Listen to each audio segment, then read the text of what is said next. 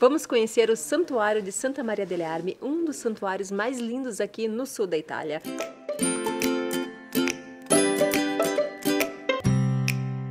Olá! Se você não me conhece, eu sou Ana Patrícia do blog Viajando para a Itália e Viajando para a Calábria. Alguns anos atrás, eu estive nesse santuário que me encantou e que me encanta cada vez que eu venho. Então, hoje voltei para fazer um vídeo para vocês para promover um pouquinho mais dessa Calábria autêntica. E hoje estou com Luca. Luca, per favore, Buongiorno. si presente. Io mi chiamo Luca, sono una guida ufficiale del Parco Nazionale del Pollino, abito qui a Cerchiara di Calabria, ci troviamo nel Parco Nazionale del Pollino e alle mie spalle c'è proprio l'ingresso del santuario di Santa Maria delle Alpi. Questo è un santuario molto antico, c'è una leggenda su questo santuario, una leggenda che si intreccia con la storia.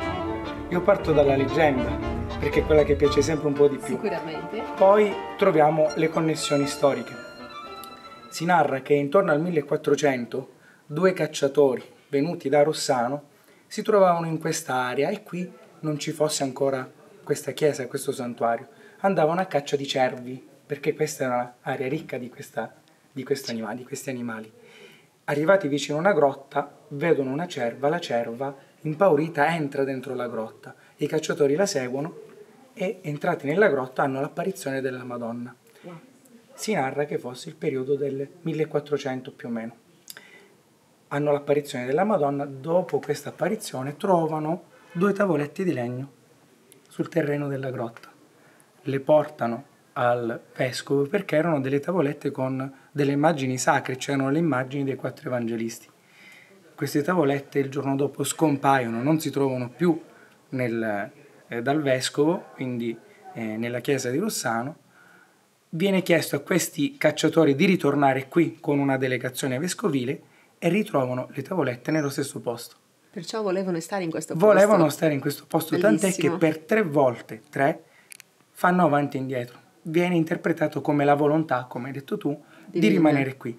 Iniziano a costruire una piccola cappella per conservarlo. Se vedete tutto intorno, per costruire eh, una struttura, una casa, una chiesa, una cappella, servono pietre quadrate. Il discepolo passa al maestro una pietra tonda e il maestro la scarta. Dopo un po' di nuovo la stessa pietra. A un certo punto il maestro dice è inutile che la scarto, me la ripresenti. La colpisce per squadrarla, appena la colpisce la pietra si apre a metà in una delle due metà, nella faccia interna della pietra, appare l'immagine della Madonna col bambino. Sembra una suggestione, però poi la possiamo andare a vedere. Nell'altra metà appare l'immagine di San Giovanni Battista. L'immagine di San Giovanni, la pietra con l'immagine di San Giovanni non si trova, pare che sia stata trafugata dai Cavalieri di Malta, che sono devoti a San Giovanni. La metà con la Madonna e il bambino si trova all'interno del santuario. E adesso noi l'andremo a vedere. Questo è il dato della leggenda. Luca, abbiamo visto dentro della chiesa un affresco stupendo. Ci racconta un po' come hanno scoperto quell'affresco? Certo.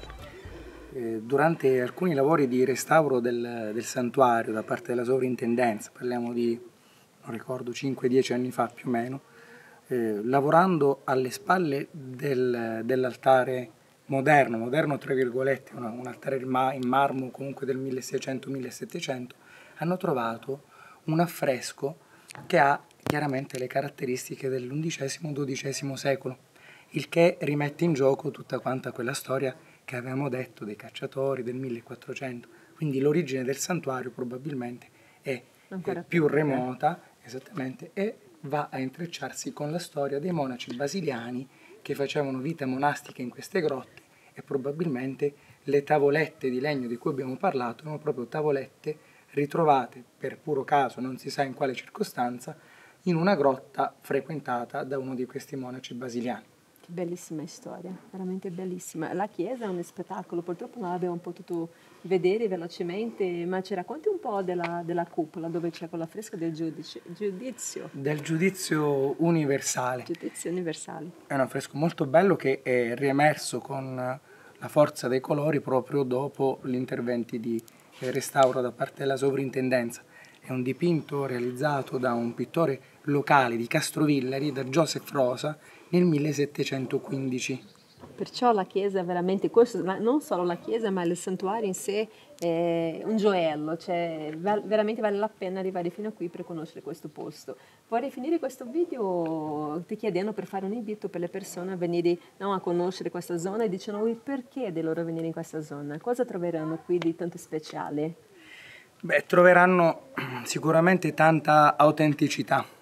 Chi viene qui non trova l'ambientazione turistica da set cinematografico programmata a tavolino. Quello che vede è veramente naturale, c'è tanta storia. Per gli amanti dell'archeologia c'è tanto, per gli amanti della storia c'è tanto, per gli amanti dell'arte c'è tanto e c'è tanto anche per gli amanti dell'escursionismo, dell'ambiente. Noi qua ci troviamo in un ambiente naturale, bellissimo. Come possiamo vedere, no? Abbiamo tutta la piana di Sibari, il Mar Ionio, il Parco della Sila là in fondo, alle nostre spalle il Parco del Pollino.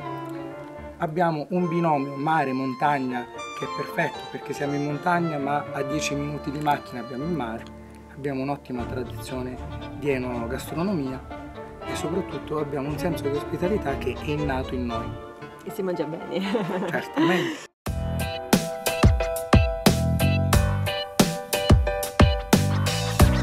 Faccio un invito a voi che cercate qualcosa come Luca ci è, ci è appena passato, qualcosa di autentico, qualcosa veramente di locale, un posto dove sentirsi a casa.